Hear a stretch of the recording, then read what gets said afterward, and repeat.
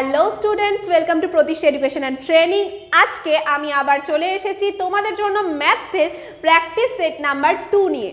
তো আজকের প্র্যাকটিস সেটে আমরা ভীষণই সহজ কিছু কোশ্চেনের আনসার করব, যেমনটা কিনা তোমাদের পরীক্ষায় আসতে চলেছে। তো পরীক্ষায় কেমন প্রশ্ন আসবে সেটা দেখার জন্য কিন্তু আজকের ক্লাসটা কেউ মিস করো না।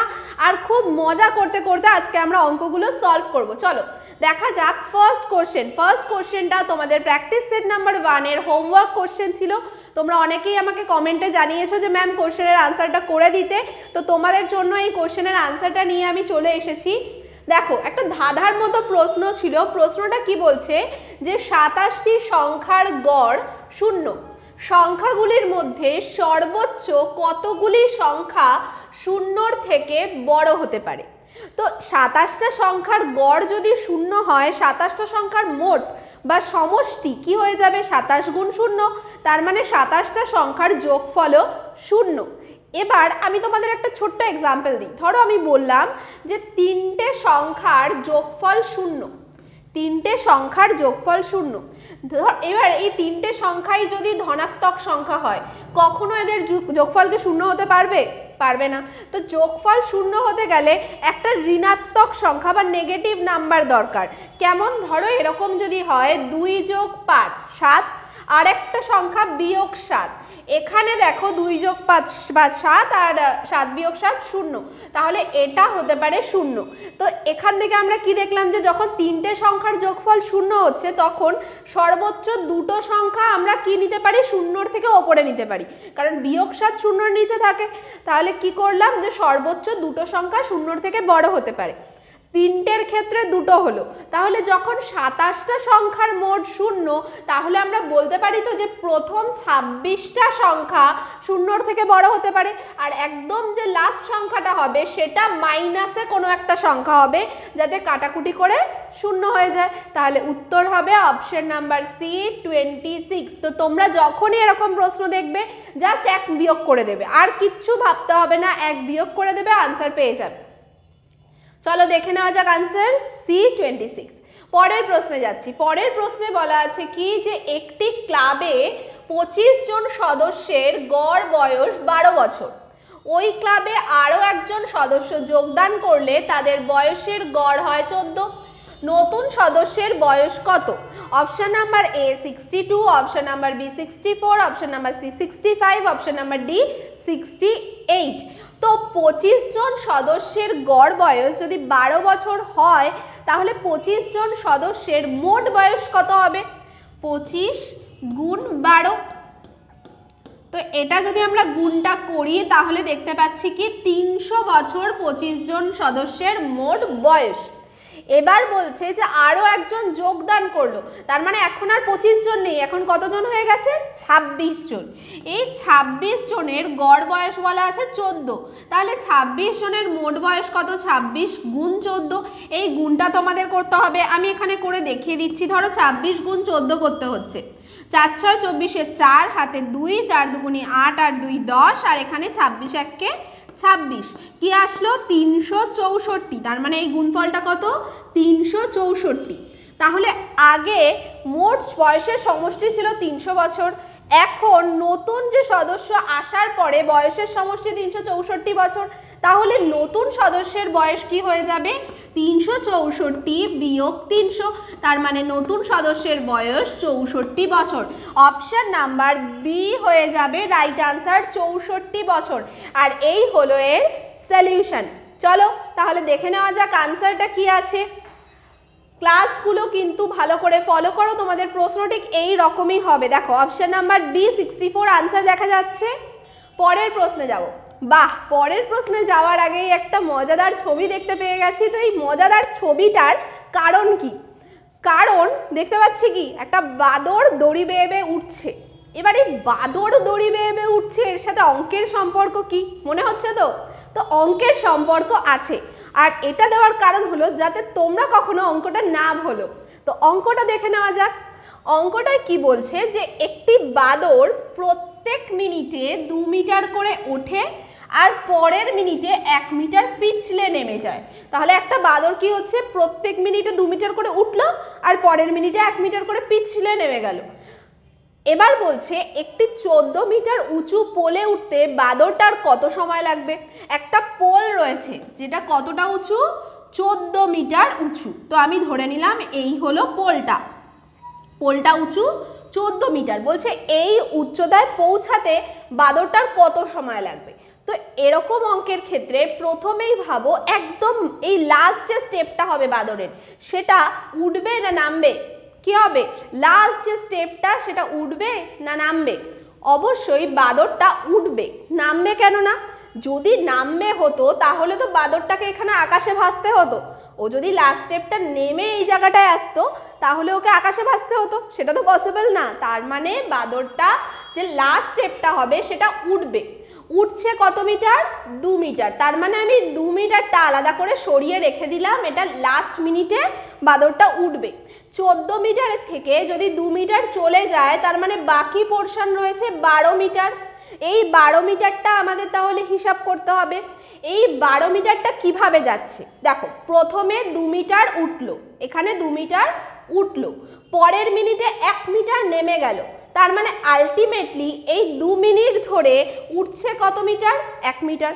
দু মিটার উঠল, এক মিটার নেমে গেল। তার মানে আলটিমেটলি উঠছে কত মিটার? এক মিটার। তাহলে বাদরটা এক মিটার উঠছে কত মিনিটে? দু মিনিটে। বাদরটাকে উঠতে হবে কত মিটার? বারো মিটার। তাহলে বারো মিটার উঠতে বাদরটা কত টাইম লাগাবে? বারো গুণ দুই। মানে চব্বিশ মিনিট সময় লাগাবে। এই জায়গাটায় পৌঁছাতে চব্বিশ মিনিটের পরের মিনিটে দু মিটার উঠে যাবে। তার মানে এই মাথায় পৌঁছে গেল। তার মানে মোট সময় লাগবে চব্বিশ যোগ এক মানে পঁচিশ মিনিট। এই লাস্টের এক মিনিট যোগ করে মোট সময় লাগবে পঁচিশ মিনিট। যারা চব্বিশ মিনিট আনসার করছ, তাদের আনসার কিন্তু ভুল হয়ে যাবে। তাহলে উত্তর হবে পঁচিশ মিনিট। দেখে নাও, পুরো সলিউশন দেওয়া রয়েছে। কেউ না বুঝতে পারলে জানাবে। এই অঙ্কটা তাহলে আমি পরের প্র্যাকটিস সেটে আরেকবার বলে দেবো তোমাদেরকে। চলো নেক্সট কোশ্চেনে আমি যাচ্ছি, এটার আনসার দেখে নেওয়া যাক, পঁচিশ মিনিট। নেক্সট কোশ্চেনে যাচ্ছি, বাহ, একটা ফ্রেশ সবজির বাজার। তো তোমরা যাও বাজারে, জানাও কমেন্টে বাজারে যাও তো। তো এই বাজারে যারা যায় বা তোমরাও যদি গিয়ে থাকো, তো বাজারে কি হয়? কেনা বেচা হয়, আমরা কি করি? কি কিনতে যাই? তো যখনই বাজার থেকে কিছু কিনছি, তার মানে তার জন্য আমাকে কিছু টাকা দিতে হবে। তো অবশ্যই অঙ্ক না জানলে সেটা তো করতে পারবে না, তার জন্য অঙ্ক জানা দরকার। তো সেরকমই একটা অঙ্ক নিয়ে এসছি। দেখো, বলা আছে, তুমি একশো কুড়ি টাকা পঞ্চাশ পয়সা নিয়ে বাজারে গেলে।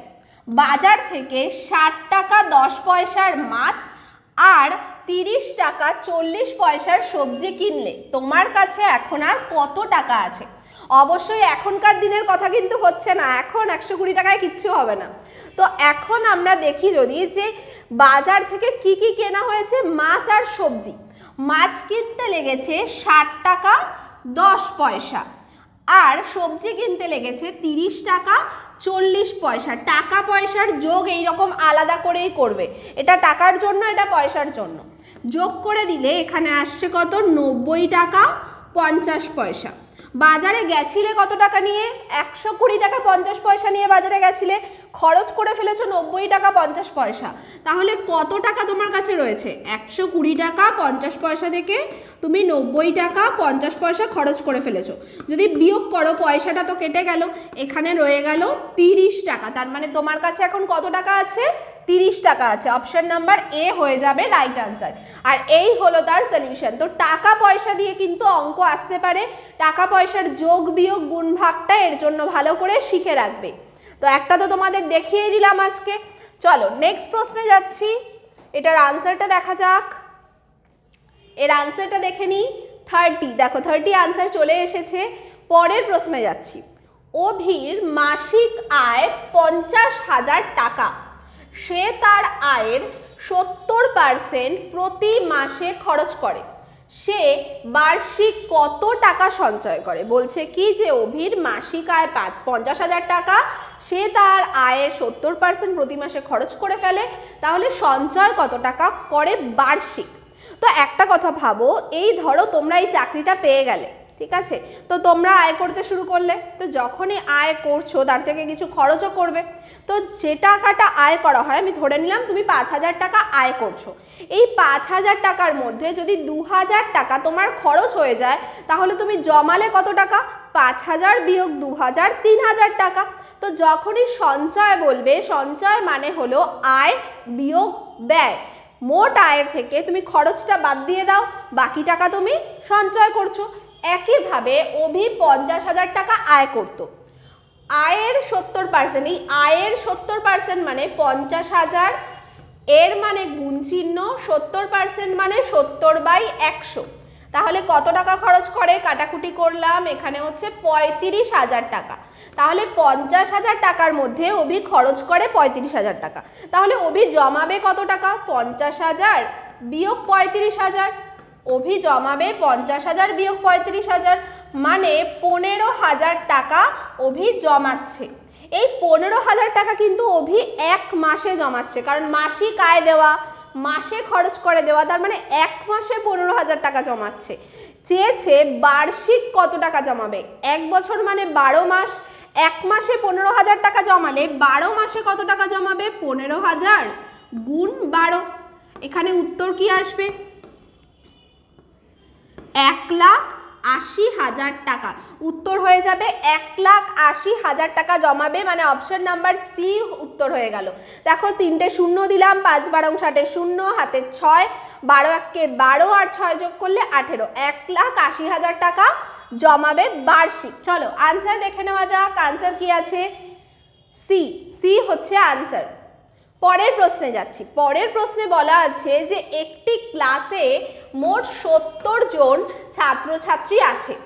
প্রত্যেক ছাত্রকে পাঁচটা করে এবং প্রত্যেক ছাত্রীকে দশটা করে মিষ্টি দিলে মোট মিষ্টি লাগে পাঁচশোটি। ক্লাসে ছাত্রীর সংখ্যা কত? তো আমি ধরে নিলাম যে ক্লাসে ছাত্রীর সংখ্যা এক্স। ক্লাসে যদি ছাত্রী এক্স জন থাকে, তাহলে ছাত্র কতজন আছে? Seventy minus X. কেন সেভেন্টি মাইনাস এক্স হলো? কারণ মোট ছাত্রছাত্রী সত্তর জন আছে। তার মধ্যে এক্স জন যদি ছাত্রী হয়, ছাত্র হবে সত্তর বিয়োগ এক্স। এবার প্রত্যেক ছাত্র পাঁচটা করে মিষ্টি পেল। একজন পাঁচটা করে মিষ্টি পেল। তাহলে সত্তর মাইনাস এক্স জন কতগুলো মিষ্টি পাবে? সত্তর মাইনাস এক্স গুণ পাঁচ। একজন ছাত্রী দশটা করে মিষ্টি পেল। একজন ছাত্রী কতগুলো করে মিষ্টি পাবে? Ten x. আর এই সব মিষ্টির যোগফল কতগুলো? পাঁচশোটা মিষ্টি। তো এখানে যদি আমরা সমাধান করি, পাঁচ গুণ সত্তর মানে তিনশো পঞ্চাশ মাইনাস ফাইভ এক্স, আর এখানে আসলো plus ten X, equals to five hundred. এখানে আমি দেখছি টেন এক্স থেকে যদি ফাইভ এক্স বিয়োগ করে দিই, কি থাকে? Five X. তিনশো পঞ্চাশ এদিকে আসলে বিয়োগ হবে, পাঁচশো থেকে যদি সাড়ে তিনশো বিয়োগ করে দিই, কত থাকে? দেড়শো। তাহলে এক্সের ভ্যালু কি হয়ে যাবে? এক্স সমান সমান দেড়শো ভাগ পাঁচ পাঁচ দিয়ে ভাগ করলে তিন, পাঁচা পনেরো শূন্য। তাহলে এক্সের ভ্যালু তিরিশ। এক্স কি ধরেছিলাম? ছাত্রীদের সংখ্যা। তাহলে ছাত্রীদের সংখ্যা কত? তিরিশ জন। অপশান নাম্বার ডি হয়ে গেল রাইট আনসার এই হলো এর সলিউশন তোমরা চাইলে পজ করে দেখতে পারো। ভিডিওটা রিপিট মোডে গিয়েও কিন্তু সলিউশনগুলো দেখতে পারো। দেখো, এই হলো ফুল সলিউশন চলো নেক্সট কোশ্চেনে যাই তাহলে। আগে দেখে নিই আনসারটা কি আছে। চলো। এই দেখো অপশন নাম্বার ডি থার্টি হয়ে গেল রাইট আনসার বাহ, একটা সুন্দর ফটো একটা ফ্যামিলি ফটো বলতে পারি। তো ফ্যামিলিতে জেনারেলি আমরা কি দেখে আসি? যে বাবা, দাদা মানে যারা আর্নিং মেম্বার রয়েছেন, সাধারণত আমাদের ক্ষেত্রে ছেলেরাই কি করে যে টাকা দেয়? মানে স্ত্রীকে কিছু টাকা দিল, হাত খরচ বা ছেলে মেয়েকে দিল। এখন নারীর ক্ষমতায়ন হচ্ছে, অবশ্যই নারীরাও এই পদক্ষেপটা এগিয়ে আসছে। কিন্তু আমরা যদি একটু আগের কথা ভাবি, এটাই কিন্তু বেশি চলে আসছে।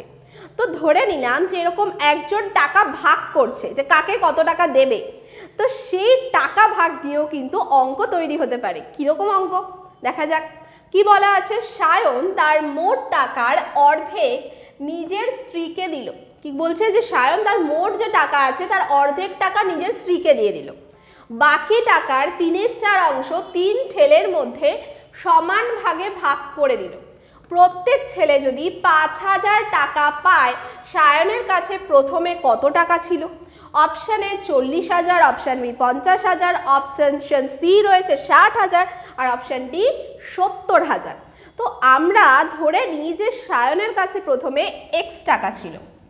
তো সে তো তার স্ত্রীকে অর্ধেক টাকা দিয়ে দিয়েছে, তার মানে এক্সের অর্ধেক কত? এক্স বাই টু অর্ধেক মানে দুই দিয়ে ভাগ করতে হয়।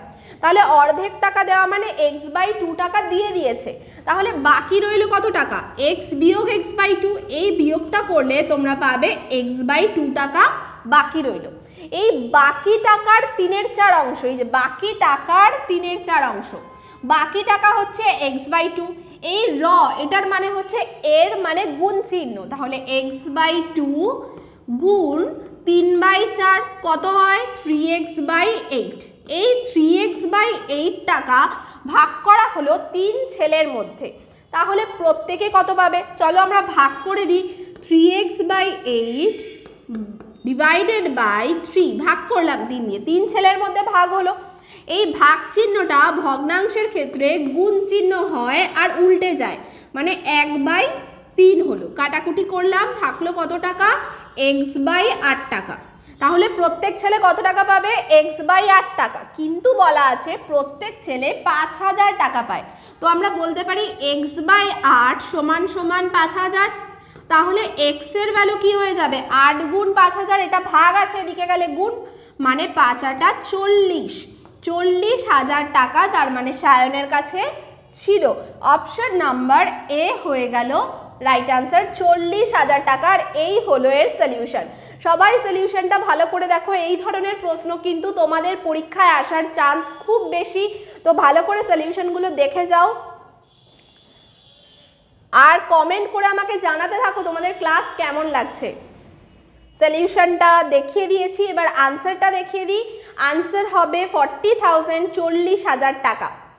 চলো, বাহ, খুব সুন্দর এরকম একটা শীতের সকালের ছবি যেখানে একটা ট্রেন চলে যাচ্ছে। তো ট্রেনটা দেখে নিশ্চয়ই বুঝতে পারছ যে এবার তাহলে একটা ট্রেনের অঙ্ক আসতে চলেছে। তো ট্রেনের অঙ্ক কেমন হয় দেখো। কি বলা আছে? একটি ট্রেন বারো মিটার পার সেকেন্ড বেগে বারো সেকেন্ডে একটি গাছকে অতিক্রম করলে ট্রেনটির দৈর্ঘ্য কত? বলছে কি যে একটা ট্রেন রয়েছে, সেটা যদি বারো মিটার পার সেকেন্ড বেগে বারো সেকেন্ডে একটি গাছকে অতিক্রম করে।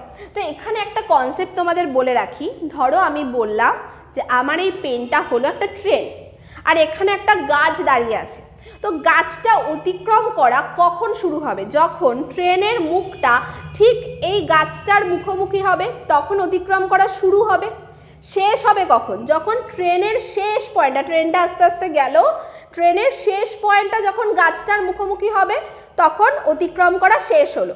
তার মানে এই অতিক্রম করতে ট্রেনটা কতটা দূরত্ব গেল?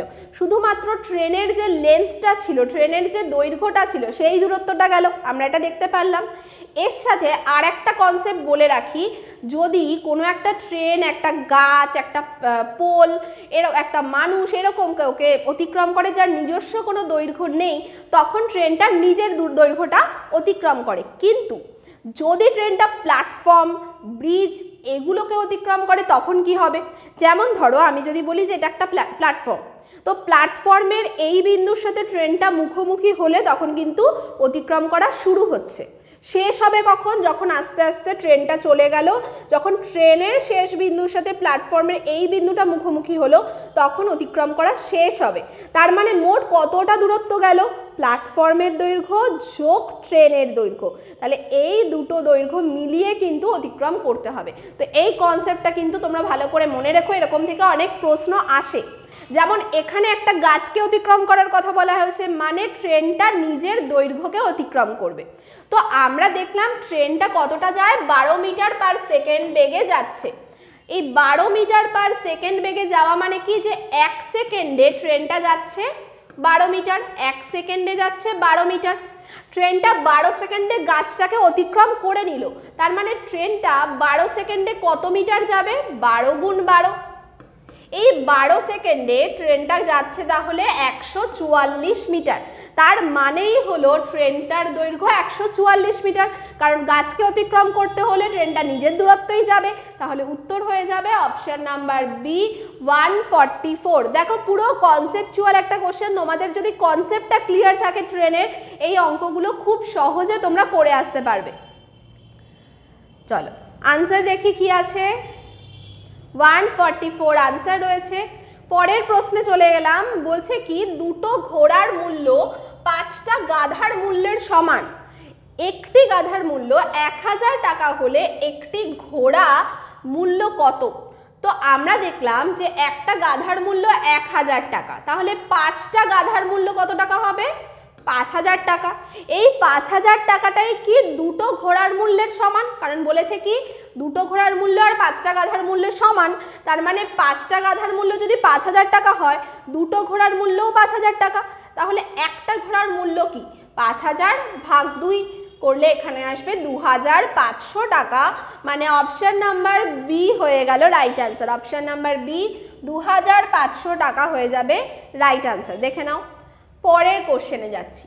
এবার তোমাদের লাস্ট কোশ্চেন যেটা তোমাদের হোমওয়ার্ক কোশ্চেন কি বলা আছে দেখো? নিশা একের পাঁচ অংশ কেক খেয়েছে। নিশার ভাই তিনের চার অংশ কেক খেয়েছে। কে বেশি কেক খেলো? নিশা? নিশার ভাই ভাই উভয়ই কেউই নয়। এইটার কিন্তু আনসার তোমরা আমাকে অপশানগুলো দেবে এবিসিডির মধ্যে কোন অপশানটা আনসার হবে, তোমরা পুরো চাইলে লিখেও দিতে পারো, কিন্তু কমেন্ট অবশ্যই সবাই করো। আর আমাকে জানাতে ভুলো না যে তোমাদের অঙ্কের ক্লাসটা কেমন লাগছে। আর আজকের ক্লাস তোমরা দেখতেই পাচ্ছ যে আজকের ক্লাস এই পর্যন্তই। আর অনেক অনেক শেয়ার করো আমার ভিডিওটা আর এই চ্যানেলে এরকম আরও অনেক ভিডিও পেতে চ্যানেলটা সাবস্ক্রাইব করতে কিন্তু কেউ ভুলো না। Thank you so much for watching